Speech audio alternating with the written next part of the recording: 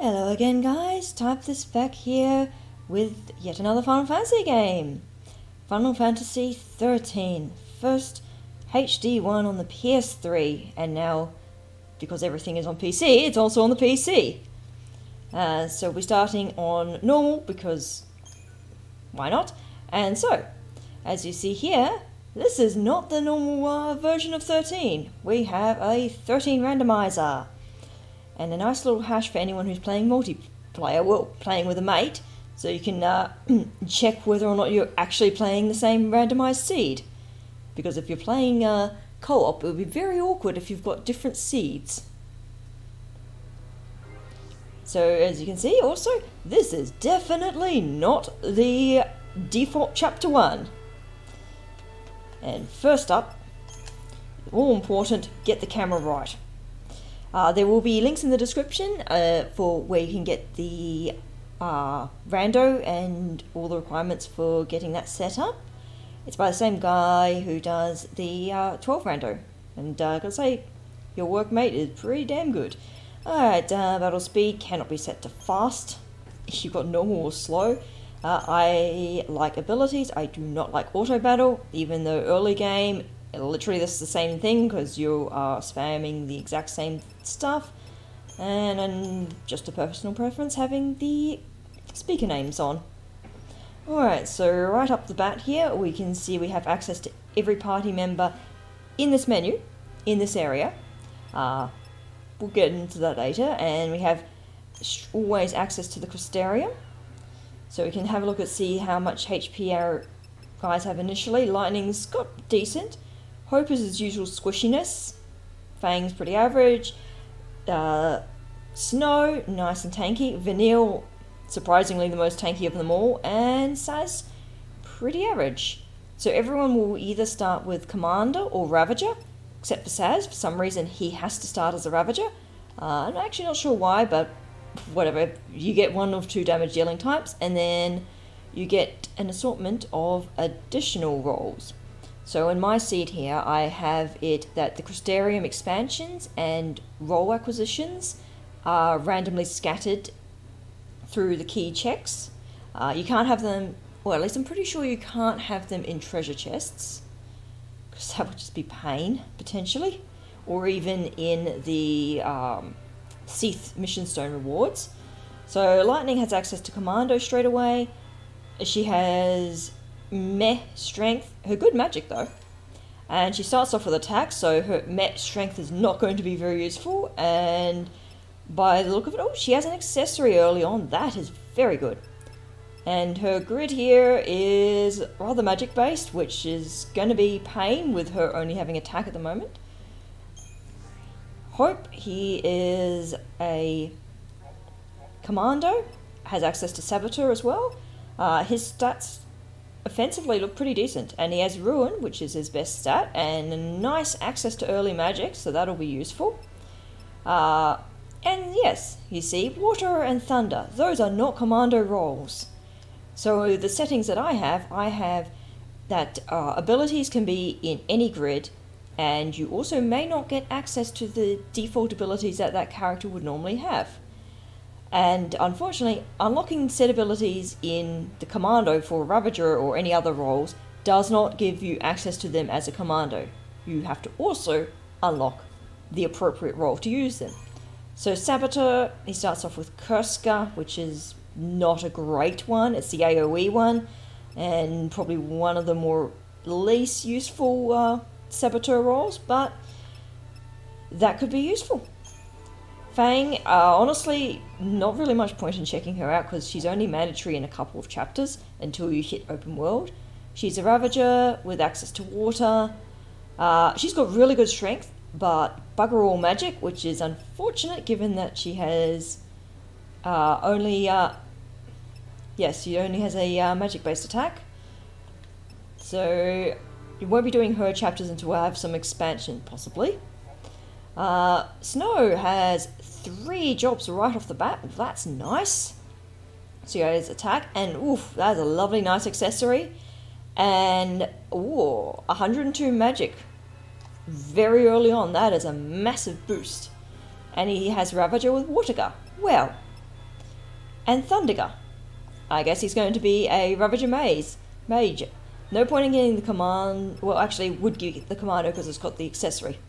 And he has Enfrost with a Synergist, that's his buffing role, some nice early HP, and access to Ruin. That will bolster his magic based uh, Commando and Provoke, which is useless because we don't have the Sentinel.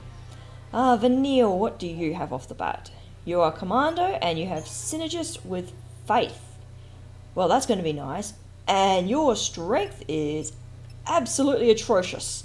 Nine. Wow. Alright, nothing else of much interest. There's some decent HP nodes in there. And of course, your commando comes with attack and not ruin. So you can't use do any blimmin' damage. And you have a non-damaging sub role. Okay, hopefully we can get some better roles for her. And you are purely Ravager, but you also have an accessory early on.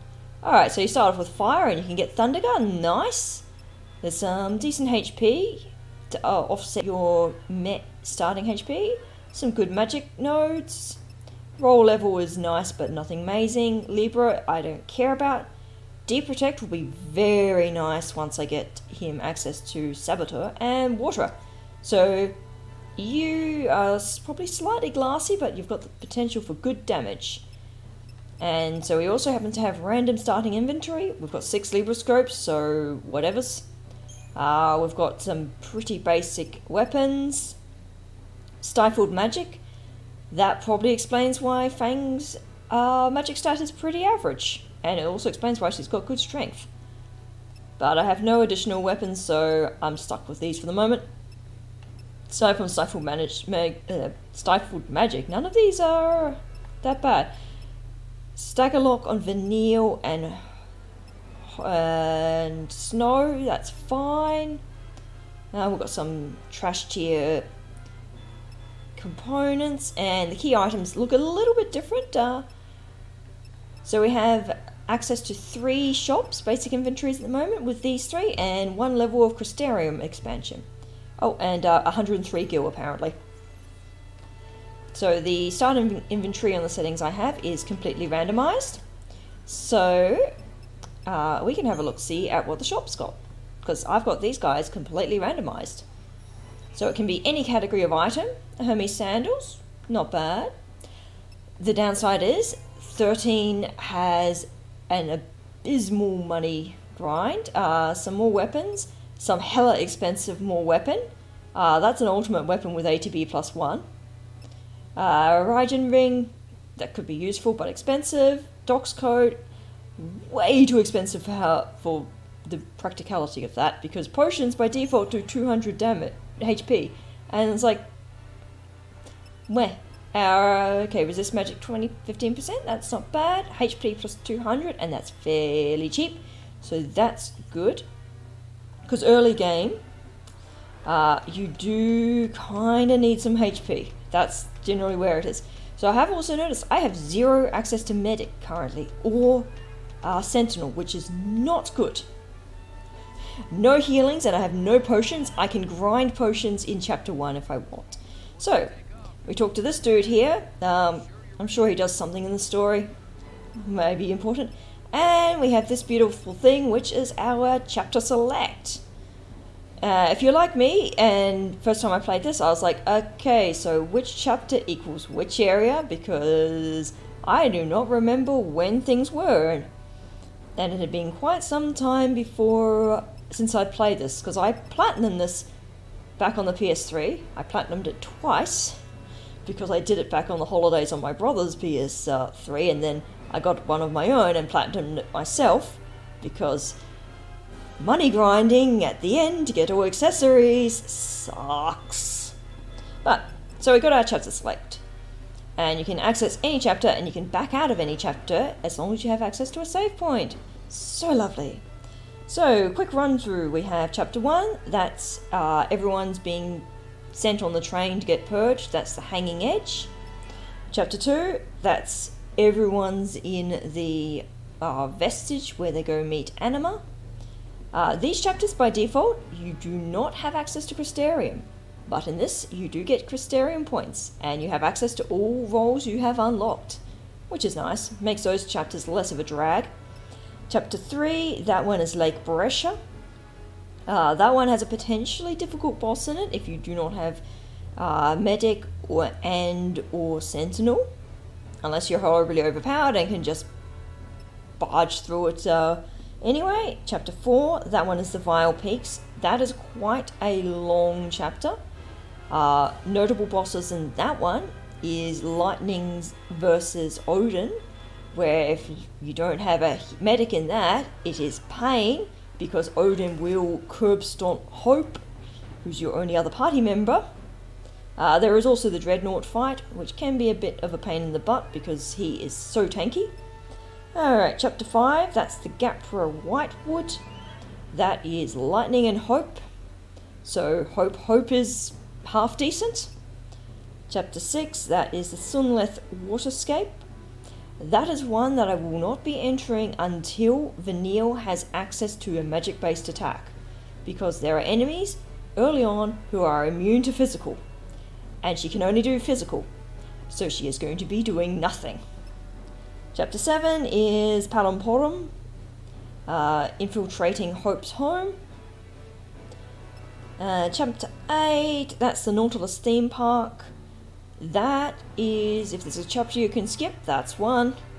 It does have checks in it. So, uh, chapter 9, that is where you're in the airships trying to get away from Sea and uh, you discover who Barthandelus is. And the tragic demise of Jihl Nabaat, who could have been such a great character, but oh well. Uh, chapter 10, this is the Fifth Ark. That is the first time in the game where you can choose your party composition. All the way down here. You cannot choose party members until here. Chapter 11, that is what I've nicknamed in my notes the open world section. It's where you get down to Gran Pulse. Uh, chapter 12, that's where you go back to Eden. You've gotta fight your way through Edenhall and all that jazz. Chapter 13 is the trippy red area, that's the final boss area. Uh, no, you cannot go back to Gran Pulse in this chapter. You can only visit Gran Pulse in chapter 11. So, no, you can't cheat, sequence break, go back to Gran Pulse in here and do the Cie'th Waystone missions and then skip sections of chapter 11. The game will not allow you. So yes, right now with my stats, I can go off and attempt to get to the final boss, and that is not going to work because anything in that zone is just going to squish my dudes. So instead, I'm going to be looking for getting some more expansions to my Crystarium and job roles, accessories, all that lovely jazz. So let's dive into chapter 10. And then skip a whole bunch of cutscenes because this game loves its cutscenes. There are so many cutscenes. I want to say like four cutscenes in a row is the absolute highest I've seen. Alright, so why are we going straight into chapter 10, given that this chapter is, uh, like two, well, two-thirds of the way through the game? I think it's about a, yeah, it's about 50% of your power level? Maybe even, yeah, close to two-thirds by the time you get to here. So why getting here? The enemies are going to uh, absolutely squish my poor dudes. Yes, we are continuing in here. But, skip the cutscene, and we get an electrode. We get Lightning's Ravager. Some more access to items. Synergist. More Crystarium area. Another item shop. You get a whole bunch of really nice free checks without having to do any combat. However, go up those stairs and you have a forced fight. Which, uh, with my current stats, is not going to go well. So the key with this uh, randomizer, basically Every chapter in 13 has at least one check right at the beginning of the chapter and one check or one or more checks right at the end of the chapter along with some intermediary checks in the middle thanks to bosses and whatnot and the key thing is knowing which chapters happen to have free stuff that you can nick right at the beginning and chapter 10 one is a real biggie one so there is actually something in chapter 13 that we can grab. So yes, some of the chapters have forced fights at the beginning before you can get any um, gear or whatever's checks out of them. And then knowing which ones you can do or very likely to be able to do with the bare bones um, grids that you start off with or equipments is important. So chapter 13 happens to have a check right at the beginning as you enter the, I don't know what this area is, church, and we get more item access potentially. Except we're dead broke with only 103 gil and no access to uh, money. Although there's a lot of money walking around here. These things are good money droppers. They're not the best, but they're pretty good. However, back to the Lindblum, because there is no way we can beat those at the moment. Even though they, for a late game enemy, aren't super threatening. Unless they get lucky and snipe you with death. So, chapters 10, chapters 13, good to go. Go take, get some free stuff. Obviously, if you want to play things in order, that's up to you as well. Right, so next one that's worth doing is Nautilus chapter 8. So this one is this chapter is not really worth doing. It only has a few treasure chests in it. Like literally four or five tre- treasures, that's it. Um, so unless you enjoy running around catching chocobos, you can pretty much skip it, but it does have a check right at the beginning. And it also happens to have a check right at the end, but that check is Sazh's uh, Eidolon fight, and I do not have the Eidoliths randomized. So I know that that fight, is, all it's going to do is yield my the uh, Brynhildr Eidolith, which I don't care about. Alright, well, so we've got another weapon for uh, Fang, and we have Hope with Sentinel, which is, that's a plus. He doesn't have the HP to tank, but if he has access to Mediguard, that's something. Alright, so now we're going to bounce from the Nautilus theme park and go get our, some more of our free stuff. So yes, even though I've got all access to all these extra bits in the Crystarium now, I don't have any CP to buy them on.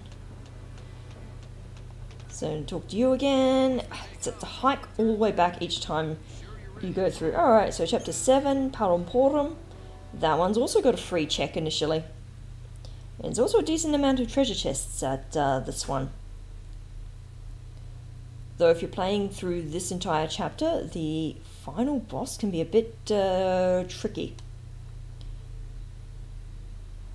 So you can survive um, fairly well. Okay, so we've got Sazh's Commando, that's good. Lightning's a Sentinel as well, okay, and access to more items. I'm getting a lot of shop ex expansions here. And as I said, this game loves piling on those cutscenes, and that is not even the most egregious section of cutscenes. So those enemies are not going to make my life good. A little bit strong for what I am. Okay, so we also happen to be go we'll be going to chapters 6, chapters 5. Uh, we can do chapter 4. Chapter 4 does start off with a boss not a boss battle, it's a mandatory fight. But alright, so I need to do number six. But the uh, fight in the Vile Peaks and in Bresha are designed to be done with a pretty weak sphere grid. Oh, Crystarium grid, not spear grid. Wrong game. So I haven't gone and checked any of the new stuff. Okay, so we've got more items, more items, Still no medic role. And only two sentinels. Yes, so those tomatoes over in the background there, they are immune to physical. So until Vanille can do something other than wave her fishing rod at them, uh, and buff Sazh, that's uh, not a chapter I'll be doing. Plus, the with her current stats, the boss in that chapter is not going to go well for her. Yes, it's a, kind of a shame that this NPC is all the way down the end here, instead of right next to there. There is the other NPC right next to the beginning. Um, Alright, so we want the Gapra one, number five. Yeah, the NPC at the front, he just talks to you and doesn't do anything. He just has dialogue. Alright, so it's going to be a lot of cutscene skipping, i.e. some more Crystariums, a Librascope, cool, cool. Uh, I already had a few Librascopes. And we have Hope, who is the slowest runner. Because he's a kid with short legs. Like, they literally made his run speed slower than every other character. Fortunately, there is only one fairly small section of the game where you have to be Hope. Every other section, you can have someone else as your party member. Or you're forced to have someone else as your party member. Alright, back to you, and... Let's do...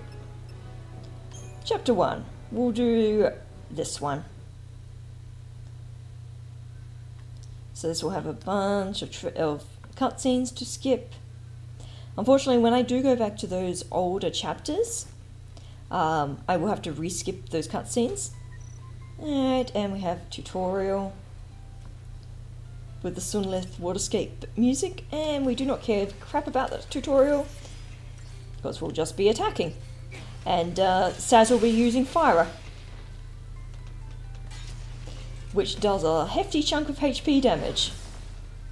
So normally in this one, you're only supposed to have two ATB segments, and Lightning has, I think, Grenade and Attack, and Sazh has Attack. So Sazh's damage output is way better than what it should be. No, and he's going to attack us with a bit of damage. I think our HPs are yeah, vaguely proportional to what they should be for this point in the game. So yes, Lightning with her commando stabilizes the chain gauge, and then Sazh just nukes it. Alright. And see, we get a little bit of CP out of that.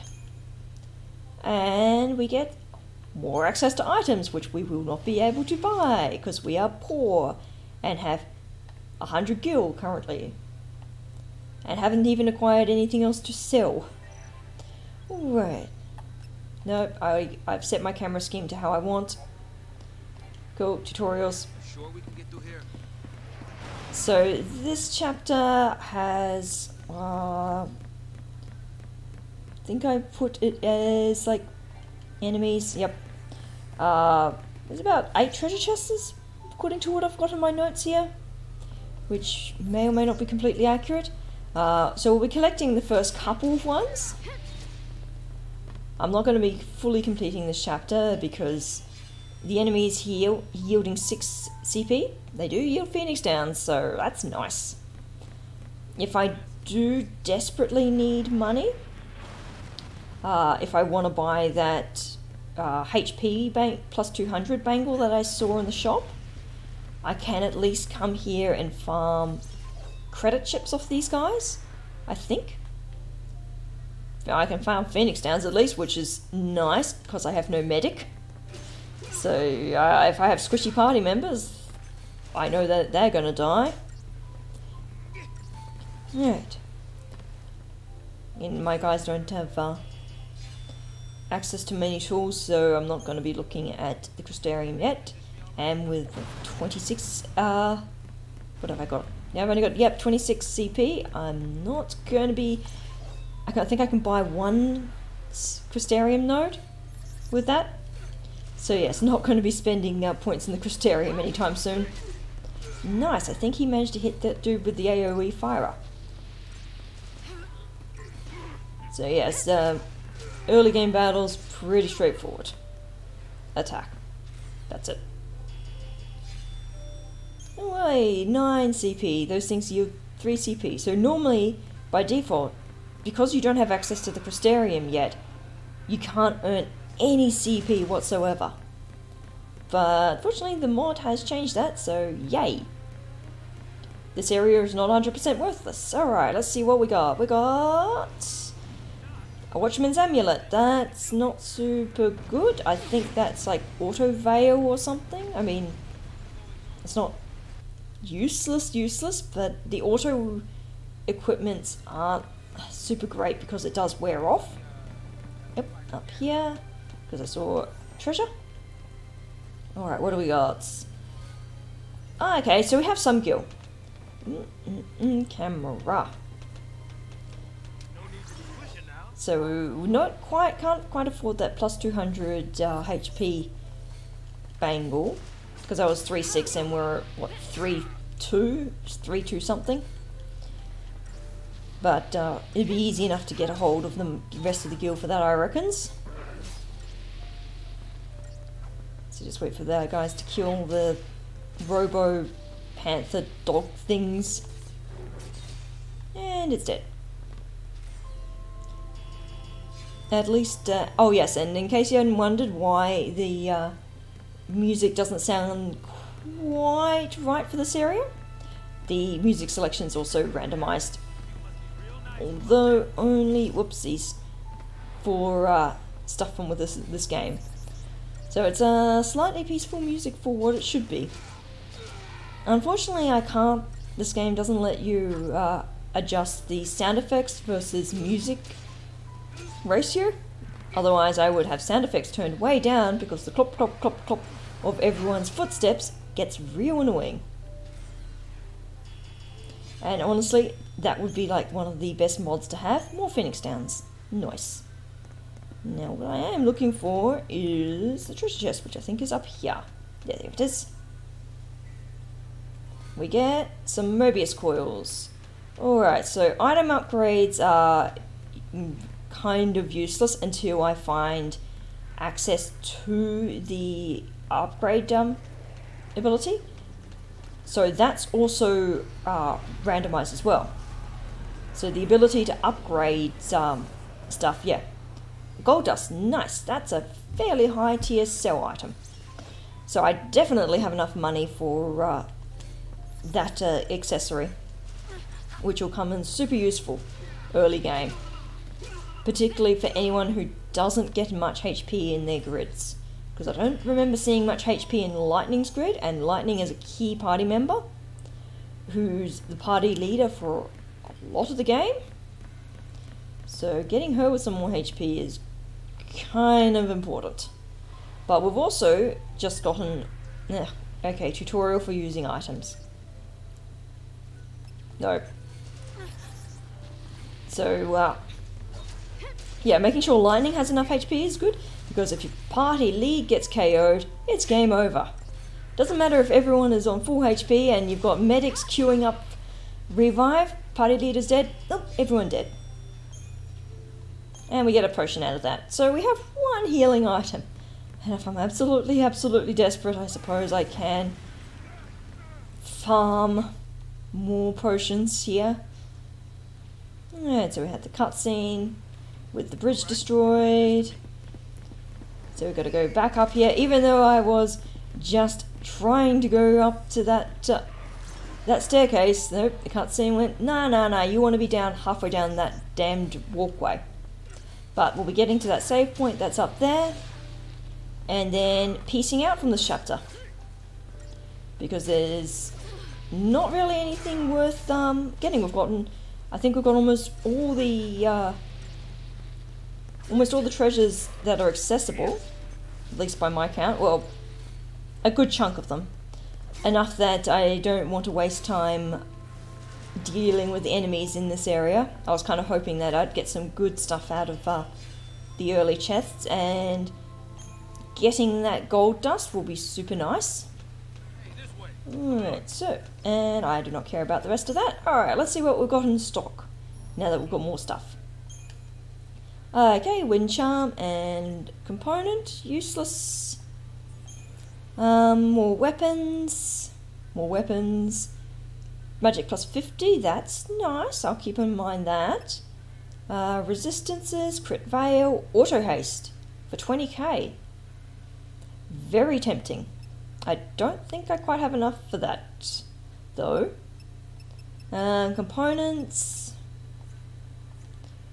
Those are all useless until I can actually upgrade stuff. Component, expensive, will definitely not be getting. Alright, more weapons. More weapons. Resist curse, not very useful. And more components. Cool, not useful. Uh, lifesaver, improve raise, absolutely useless without medic role, and lightning may not even learn raise. That might not be in her grid. Alright, and that's all the expensive stuff that we knew about. Alright, what we got? More weapons, HP plus 200, resist magic, not bad. And the rest of that's useless. You can also find items that are residual elements useful but expensive. You can find things that are meant to be sell items. And resist curse. Cool. Alright. Oh, I should also sell off my gold dust for 15k. Yes, please. And that's two and a half thousand. If I'm desperate, I'll sell that. Alright, so Shamanic Spear is enfeeblement. I am never ever going to have that ability because...